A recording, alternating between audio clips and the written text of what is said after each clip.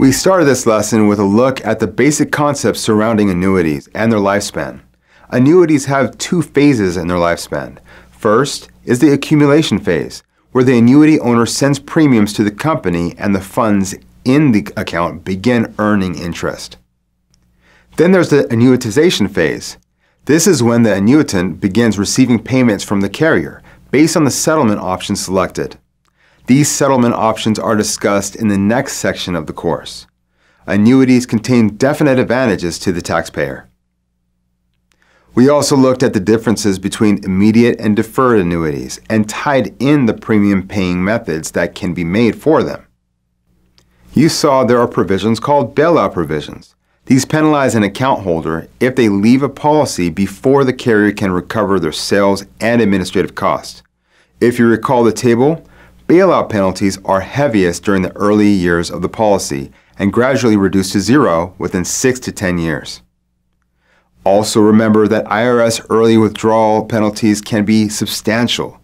If an annuitant withdraws funds before age 59 and a half, the IRS will assess a 10% penalty tax in addition to any income taxes due based on the distribution. This portion ended with a look at non-forfeiture provisions which protect the insured against losing all the money put into the annuity in the event of a policy lapse due to non-payment of a premium. The last section of the lesson starts with the various settlement options available when an annuitant decides to begin receiving payments from the annuity. Study these areas diligently as they're basically the same for life insurance settlement options, and both will be on the state exam. We'll then continue with an exploration of fixed versus variable annuities. There are substantial differences between the two, and it is important for you to understand them. For example, if you'd like to sell fixed annuities, you simply need a life insurance license.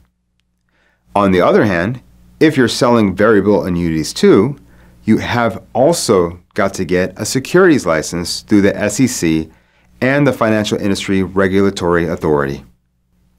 It's not just proper licensure needed for selling annuities.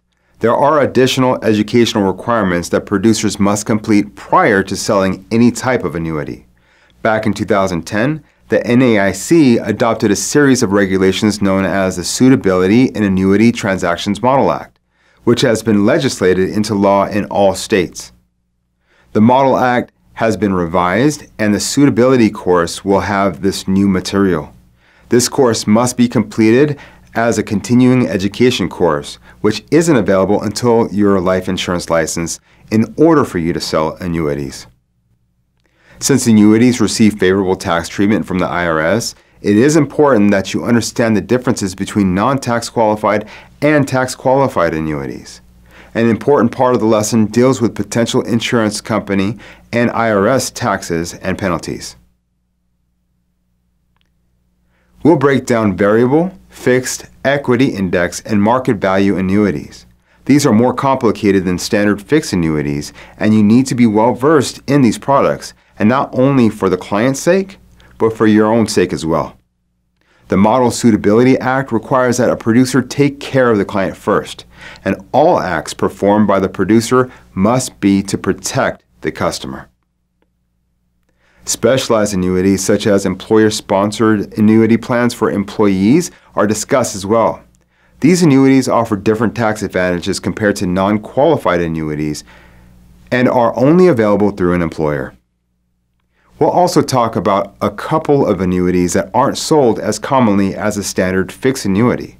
Equity index and market value annuities tend to be fairly complicated products and you really need to know the terms and conditions of these potentially difficult products. Finally, the lesson ends with a consideration of individual retirement accounts. Our last item to consider will be educational IRAs called Coverdell accounts. These can be great for those looking to save for their children's education.